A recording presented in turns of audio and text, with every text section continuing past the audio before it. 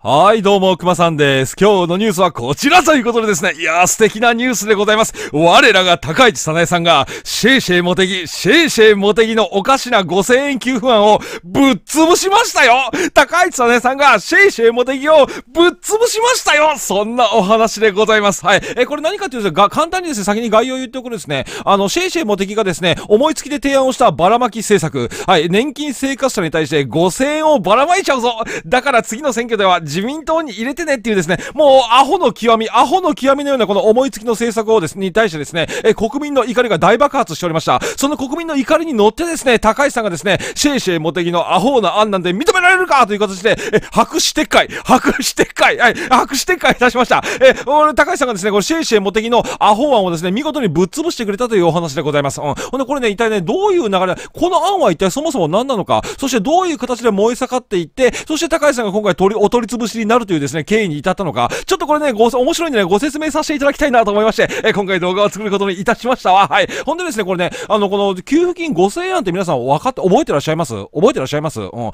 れ結構前に出てきた話題で、未だに燃え盛っていて、今日やっと決着がね、ついさっきやっと決着がついたっていう話なんだけど、これと一緒に説明をしたらですね、思い出す方もいらっしゃるんじゃないでしょうか？はい。えーちょっと前にですね、あの、これ3月の頭くらいにですね、なんか自民党がですね、なんかね、あの、経済的困窮している外国人留学生に10万円支給します。ね。え中国人なんかのですね、外国人留学生に対してですね、え10万円支給しますと発表したことがあったじゃないですか。で、これでね、日本人がですね、あ、は？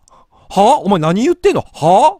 あ？おい、一般の日本人国民がね、あの、もうコロナ禍でですね、あの、いろんな仕事も制限されてですね、もし瀕死の状態になっているにもかかわらず、え、留学生の方、皆さんに10万円を差し上げる？は？あ頭おかしいんか、こらーとこう燃え、燃え下がったことあったの覚えてらっしゃいません？うん。え、これですね、ちょっと実はね、NHK がですね、おかしな誤報していたっていう事実がありまして、これね、今ね、これ NHK の記事なんだけど、ここにね、経済的困窮の外国人留学生や日本の学生に10万円支給へ政府っていうタイトルになってるでしょ？これね、この記事が出てきた時にですね、この日本の学生という言葉はなかったんですよ。なかったのよ。NHK のこの記事。ね。えーが、が、経済的困窮をしている外国人留学生に10万円給付っていうような記事だったんですよ。で、これで、本当はね、自民党もですね、これね、あの、困窮している日本の学生を含めて、えー外国人留学生に対して10万円を給付するよっていうのが本当の案だったんだけど、これをね、NHK がですね、意図的にですね、えー日本人だけじゃなく、日本人には配らずに、配らずにですね、えー外国人留学生に配ってるぞっていうような記事をですね、でっち上げたっていうですね、これ大事件あったんですね。えーでもです、まあ、たただですね、これね、外国人の留学生にですね、10万円もそもそも給付する意味あるかっていうそもそものところもありますから、まあこれは当然非難されて叱るべきだったんだよね。ほんでね、これでですね、外国人留学生に10万円配るのがこの野郎って日本人が燃えているですね、直後に出てきたのが今回のこの5000円の給付案だったんですよね。あ、わかったわかったわかった。うん国民の皆さんわかりました。じゃあね、外国人留学生には10万円あげてるわけだけれども、お前らには、お前らには5000円やるよ。っていう案がね、出てきやがったんですよ。これでですね、大爆発したんですね、日本人がね。ふざけるなと。ふざけるなと。外国人留学生に10万円あげるのに、俺たちのは5000円か。およく見たら、あ、え、年金生活者だけ？俺たちは？あーんという形でですね、こんなもんお前、高齢者に向けたですね、選挙対策じゃねえかよ、この野郎ということで、ぶち切れたわけですね。えその顛末がですね、これね、週刊、あ日刊、日刊ヒュンダイ、日刊ヒュンダイがですね、日刊ヒュンダイのくせにですね、割とちゃんと書いてる記事がありましたので、これでですね、当時の様子を見ていきましょう。いきますよ。悪評プンプン、悪評プンプン、はい。えー年金生活者5000円配布案の内幕、えー事故、仲間割れで白紙撤回が浮上という形でですね、誰でこんなバカみたいな案を思いついたのはっていう声が上がってきたので、したらですね、これにね、ひよった公明党がですね、うん、えお僕たちじゃないよ、僕たち公明党じゃないよ、これを考えたのは自民党の幹事長の茂木さんですって暴露しちゃったんですよ。これで茂木幹事長、幹事長がですね、これ大炎上するという流れになったんですね。はい。うん、いきますよ。え、ついに仲間割れか。世論調査で66%が適切だとは思いませんと答えるほど評判が悪いですね、年金生活者への5000円給付案。はい。え、とうとう公明党がですね、あの案は僕たちじゃないんです自民党が持ってきたもんなんですっていう、とですね、内情をですね、暴露し始めているとね、もう、ひよった公明党逃げ出し始めていたわけですね、この時にね。はい。え、ことの発端は3月の15日、自民党、公明党の幹事長、政調会長の4人がですね、え、首相官邸を訪れまして、え、年金生活者に一律5000円を給付する案をですね、え、岸田首相に要請したことで、あると。で、年金支給額はですね、えー、新年度から0.4%減額をされてしまいます。えー、その穴埋めとしてですね、5000円を一律給付するプランでした。えー、ところがですね、公明党の竹内政調会長は23日、記者会見で、えー、5000円の給付案は、えー、自民党の茂木幹事長から話があったんです、と。えー、そもそも公明党としてはですね、えー、考えていたわけではないんですよ、とですね、えー、逃げ腰で、えー、内幕をですね、暴露してしまいました。えー、今回のですね、燃え盛った国民のですね、怒りをですね、えー、全て自民党に押し付けたわけですな。もう公明党とか、もう切り離しちゃうよ、自民党。な、いらんだろ、こんなん。はい。でですね、え、5000給付はですね、ただでさえ選挙目当てと批判されている上ですね、約1300億円を寄付するために、え、事務経費がですね、700億円もかかってですね、え、国民の怒りにですね、え、火の油を火にですね、油を注いでいると。うん、わかります ?2000 億円もかかる、これ給付案だったんだよね。でですね、え実際これに茂木幹事長のですね、え暴走だったらしいんですね。えこのね、そのね、あの、公明党の暴露がですね、別の記事になってて、これなんですよ。ちょっと読んで、読んでみる。5000円の給付、僕たちじゃないよ。茂木氏が提案したんだよ。だから公明党には責任ないんだよ。というですね、公明党の竹内政調会長の逃げ腰の記事。えもう短いんでちょっと一瞬だけ読もうか。はい。23日の記者会見で、与党が政府に申し入れた年金生活者への5000円程度の給付についてですね、え石井幹事長に自民党の茂木幹事長から話があったんです。公明党としてそもそも考えていたわけではないんです。と。もうすごい逃げ方だよね。もう全身全霊で逃げてるよね、これね。はい。え自民党側からの提案だったと説明をしました。つうか暴露だよね。えその上でですね、給付金の詳細については、政府が適切に判断するでしょうと語りましたという形でですね、え公明党、いざとなったら全身全霊で逃げるというですね、いやー、すごいな、お前、自民党、自民党、お前、こんなバカみたいな公明党とようで、ね、手組んでるな、お前らもう連立解消しまえよ、ほんとな。え、っていうような状況になったわけですよ。え、これで焦ったのが茂木くんですな。あの5000円は、選挙協力を承諾してくれた公明党へのお礼みたいなもんなんですと。えー、自民党とですね、公明党は夏の参院選で相互推薦するかどうか、なかなか話が進みませんでした。いや、そうなんですよね。今ね、自民党っていうのは選挙非常に強いから、えー、なんか評判の悪い公明党と手を結ぶ必要ないんじゃないかとかいうことでですね、選挙協力するかどうか、うだうだ、うだうだですね、自民党悩んでたんですよ。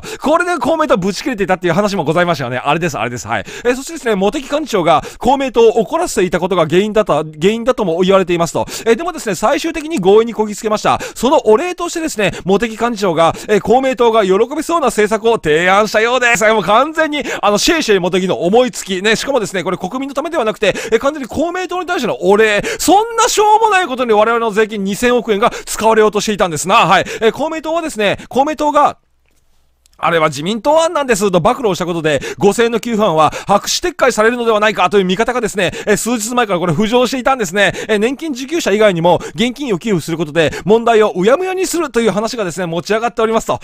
おいおいおい、すごい税金の使い方するな、お前ら。そんな税金の使い方する必要のであればですね、まあ、自衛隊にちょっとお前、まあ、防衛費としてお前、ちょっと金渡せ、ほんと。えでもですね、潔く撤回した方が傷が小さい。え官邸周辺からはですね、岸田首相の聞く力ををアピールして撤回すればいいという話はあります。はい。岸田首相これちょっといじられてませんか？これ。これちょっといじられてませんか？岸田首相。岸田首相の聞く耳をアピールして撤回すればいいという声もあると。え、国民の関心がですね、ウクライナにあるうちに撤回をすれば大きな問題にならないという計算もあるようです。そんな計算しかないよね。はい。撤回すると、撤回すれば済むと思ったら、おお間違いだぞということをですね、週刊ヒュンダイが言ってるわけですよ。そしてこの状況、このね、燃え盛ってるこのたった5000円の給付案で燃え盛ってしまった自民党、やばいやばいと思ったのが岸田君岸田君はい、え、聞く力、聞く力発揮でございますよ。え、聞く耳だ、聞く耳だ。聞く耳発揮して何を言ったのか。はい、え、年金受給者へ5000円給付。首相、本当に必要かどうか、検討。えーとですね、まずですね、本当に必要かどうかをですね、え、全く検討していなかったというですね、恐ろしい事態がですね、昨日発覚してしまったんですよね。うん。わかります？もう何回も言うよ、何回も言うよ。この案はですね、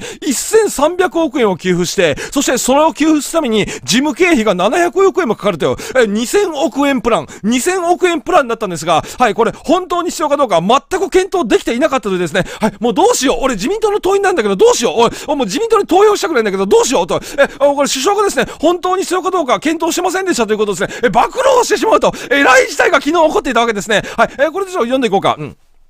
え岸田文雄首相はですね、28日のですね、え参院決算委員会で、え政府与党が検討中の年金受給者らへの一人当たり5000円給付について、調整を慎重に進める考え方を示したと。はい。おい、おい、もう、今更何言ってんだ、お前。お前国民がですね、え、だ、いか、いか、もう怒りが爆発したからですね、大急ぎで考え始めただけの話じゃねえかよ。もうね、あのね、このね、あのね、今の政府が考える予算なんてね、こんな感じで、なーんも検討せずにですね、なんかノリと勢いとですね、感覚だけで決められてるんですよ。ね、これがようわかかるでしょ？ほんとね。もう最悪だよね。早く岸田政権倒そうな。うん、本当に必要か必要かどうか、しっかりと検討したいと述べましたと。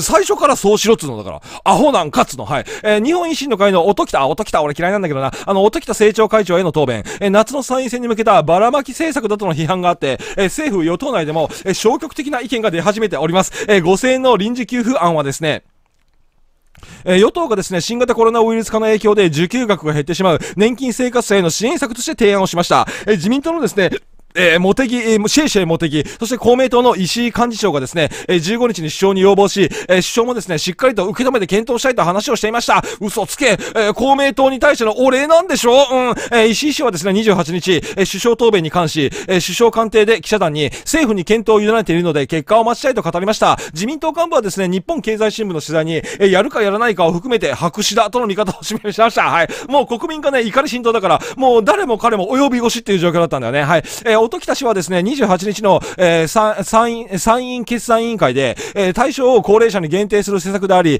世代間格差を助長させる悪手であると指摘をしました。えー、立憲民主党など、えー、他の与党もです、野党もですね、国会質疑で必要性を正してきました。もうね、これを理由に攻撃しまくられてる、しまくられてるんですよ、今の政府。うん。えー、公的年金の支給額は、えー、物価と賃金変動を考慮し、毎年改定いたします。えー、賃金が下がれば連動して減る仕組みで、2022年度は2年連続で引き下げられる。はい。えー、与党はですね、給付金支給をめぐって、新型コロナの影響による賃金低下が与える影響を払拭するためと説明をしていましたという記事なんだよね。はい。え、この状況、この状況ね、これね、あの、この総理ですらですね、まともに検討していなかったということがばらされ、ばらしてしまうという、この状況を受けてですね、え、ついに高市さんが立ち上がりました。え、年金生活者への5000円給付案が一点白紙に、え、自民党高市政調会長が方針を伝えるという形でですね、あ、もうこのシェイシェイモテギが思いつきで考えたこのアホなん、もう私付き合ってられませんわという形でですね、え、完全に白紙撤回しました。はい。え、政府与党の中で浮上していた年金生活者などへの5000円の臨時給付金について、自民党が白紙ベースで見直すことが分かりました。これ完全にこれ撤回だね、これだね。うん。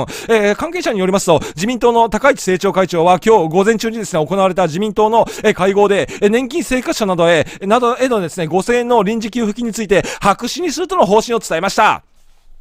え岸田総理がですね、今日、え追加の経済政策を4月末までに取りまとめるように関係閣僚に指示をしたことを受け、え自民党の政調会、政務調査会でもですね、え4月中旬をめどに対策案を取りまとめるべくですね、え議論に着手をしますが、年金生活者へのですね、臨時給付金が議題となるかも、え決まっておりませんと。もうこれ、これ無理だろうな、これな。え年金生活者にですね、5000円を給付、支給する案はですね、え政府与党の中で、え今月突如浮上したもので、なぜ年金生活者だけと、え批判の声が上がっていました。はい。え突如浮上したのはなぜかというとですね、えモテキ君が思いついたからです。はい。モテキ君が思いついたら2000億円の税金動くんだな。たまらんな、この状況。はい。当初はですね、財源として、え今年度の予備費を当てる方針でしたが、年度末が迫っておりまして、え自民党の幹部は、来年度の予算にも限りがあって、え今年度中にできないのであればですね、見直さざるを得ない。つまり完全撤回するするしかないと、えしていますという形でですね、えこれ完全にですね、これね、高市さんにがですね、えシェイシェイモテギ、シェイシェイモテギの案をですね、えぶっ潰したと、はい、メンツ丸潰れシェイシェイモテギ、さあ、どうするのかな？え、え、これですね、これ、え、ちょっとね、ヤフコメのためのコメントを見ておこうか。はい。え、これは良かったんじゃないのかな？素人目に見ても、5000円の給付が意味を持たないことはわかると。いや、ほんとそうだよね。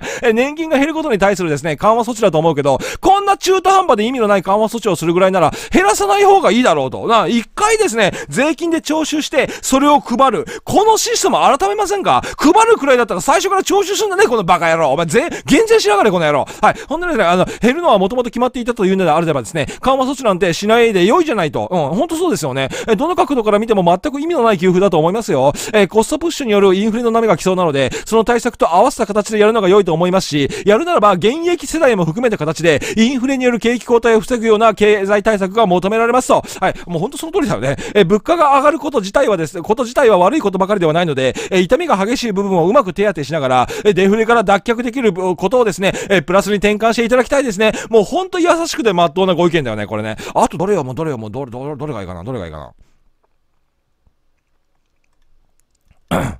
これ、これいくか、これいくか。はい、年金額が減るのはですね、働く人の納める税金が少なくなったせいに、少なくなってしまったということのせいにしていますが、え、コロナで失業している人や解雇が原因だといつ政治家は気づくんだろうか。GDP や企業の売上高は変わらない、変わらないだ、とか言ってておかしくないかと、え、ちゃんと分析をして対策をしないと、しかもその補填が5000円で、しかも年金受給者だけ、国民のことを考えてくれる政治家はいつ出てくるんだろうか。はい、マイナカードと、マイナカードと、えー、年、保険証に手数料を取るのもそうだが、国民をあまりにも馬鹿にしているのか、全く考える力がない能力、考える力がない能力なのかはわからないけれども、税金、納税をしている人にですね、対して、きちんと考えないとダメでしょという形で怒られております。あとどれがいいかな？ちょっと面白かったのもあったんだけどな、はい。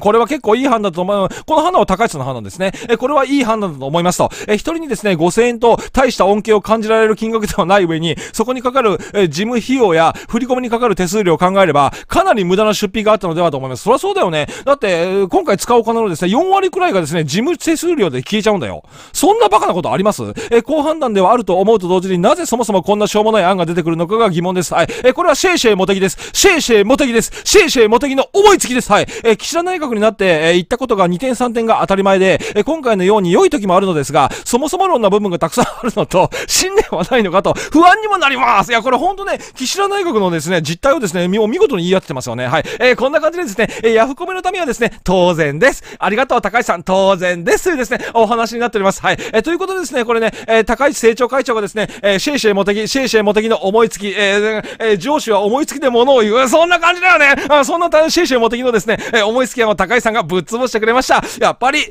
次の、やっぱりですね、もう次の総理は僕は高市さんしかいないと思います。ということで、熊さんの動画終わりたいと思います。バイバイ。